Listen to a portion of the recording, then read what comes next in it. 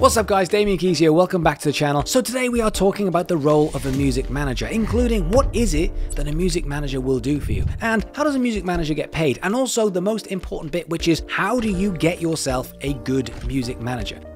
Now, there isn't a day that goes past that I don't get asked by some artist whether I want to manage them. Now, I'm not a music manager, but even if I was a music manager, the first thing I think is, why would I want to do that? What is in it for me? Where is your leverage? Before we break this down and we go into all of the details, I want to give you the best piece of advice that I can possibly think of when it comes to music management. Being scalable is much better than being talented, okay? Just bear that in mind as we go through this video. Now, many artists think that when they get a manager, they can just hand over everything and take a nice deep breath, knowing that someone is going to take away all of their problems.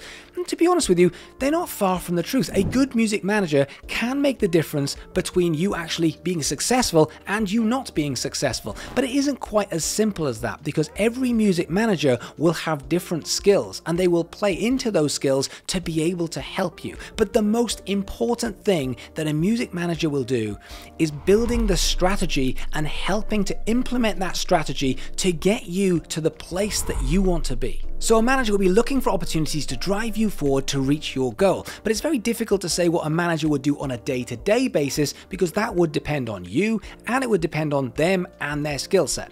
But let's look at a few examples. Let's take someone like, well, me. Okay, I don't have Lucian Grainge on speed dial, but I've got quite a lot of links to industry. I work with some labels, I work with some managers, I work with lots of artists, I know lots of promoters, I know some legals. So therefore, I've got my fingers in enough pies to be able to drive an artist forward. But is that the place that I would start? Absolutely not. My job would be that I want to build the audience, and I want to be able to start to monetize that build because if I can do that, it becomes scalable. Now, the reason why I would utilize this strategy rather than start to pitch you around different labels is because this plays right into my skill set. So, with that in mind, the strategy for us would be the songs, building the social media content, building that audience, bringing them value, and then monetizing. Then from that point, we scale. And hopefully at that point we start bringing some money in. And this is where we talk about how managers get paid. So if I asked you how much a manager would get, you'd probably say, well, I've heard it's 20%. Yes, but it all depends on a number of things. And so a manager would probably traditionally get somewhere between 15 and 20%, although a manager could easily take 50% if they are that powerful and if they have that much leverage. So it's pretty simple. I would get, say, 15%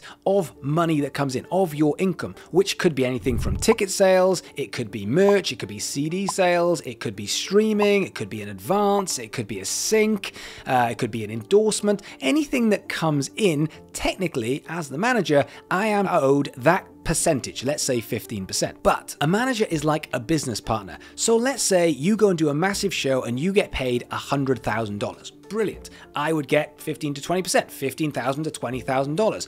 Yes, except you've got expenses. So therefore, you might have to pay session musicians, you might have to pay the venue, you might have to pay for someone to run the merch stand, yada, yada, yada. And all of a sudden, your 100,000 might come down to $40,000 profit. Now then, if that $40,000 profit is yours, I would get 20%, in this case 15 to 20% of the 40,000. So in order to build the artist, you might spend a lot of money on a radio tour or studio costs or uh, marketing or legals. All of that gets deducted before the manager would take their split. Which leads us on to the real big question, which is how do I get a music manager? Well, there's a few parts to this, but you firstly have to think about your leverage, about the supply and demand.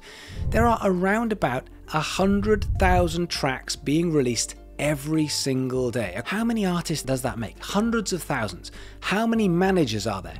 Not very many. A handful. You know, there might be 10,000, 20,000, maybe 30,000, but a tiny fraction of managers than there are artists. They're always going to have their pick of the bunch. There's always going to be that hot talent. There's always going to be an artist that's doing well that needs a manager. So that has to be you. You need to have that leverage. Now, this is where it has to make sense, and this is where you have to be slightly hard on yourself. Is it monetizable? If it isn't monetizable, why would someone come in and, and give all of their time and their experience and their contacts to build something, then they are not getting something out? So, therefore, a good manager probably isn't going to be interested. Then, Are you manageable? And that sounds crazy. You're like, of course I am. I've got great music. No, no, no, no, no.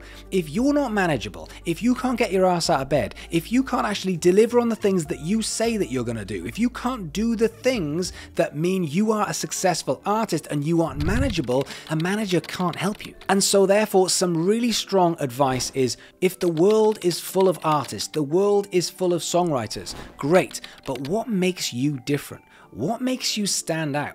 Why would that manager say, oh, I've not seen this before, this is something interesting, and this is something new? Then you need to build your empire. Now, let me tell you what I mean by this, okay? We are going to build that audience. But why are we building the audience? What are you going to do with that audience? So therefore, it needs to be clear. The artist that you are needs to have a way to be able to bring that money in before we go and get that audience. It's kind of like building a brand and building a store. Once you've got that attention and people say, oh, I want the thing, and then they know how to get the thing, that means you build the audience and you can scale. Not only can you scale the numbers within the audience, but you can now scale the dollar. And that is where a really good manager comes in. Because going back to the beginning, being scalable is better than being talented. You could be talented, but I've got nothing. I'm like, right, I have to create everything around you. My job as a manager isn't to create the world around you. My job as a manager is to scale what you're doing, is to make sure that this goes to the masses and make sure that we can actually get a result off the back of it. This is the golden rule. Your job is not to find a manager. Your job is to make yourself manageable. Your job is to make something that works, albeit very small. Now, I would suggest that a good manager will start sniffing around you when you're hitting around about the 50,000 followers on a platform. You know that people are going to start sniffing around and taking you seriously when you're in the tens of thousands. Now, don't forget, when I'm saying, oh, just go and build an audience of 50,000 people, I understand that it isn't as simple as that, but that's what this channel's for. That is what DK Music Business Academy is all about. How are you going to build that audience as quick as possible so that you have proof of concept, so that you can take it to a manager or a live agent or a label? So if you're not sure about those bits, then go and check out DK Music Business Academy. That is where you are going to find more information on how to do this as quick as possible. But I hope that helped, and hopefully this will help you to go and get a manager. Before you go, do me a favor, hit that like, hit that subscribe, because it does make a huge difference. Cheers. I'll see you on the next one.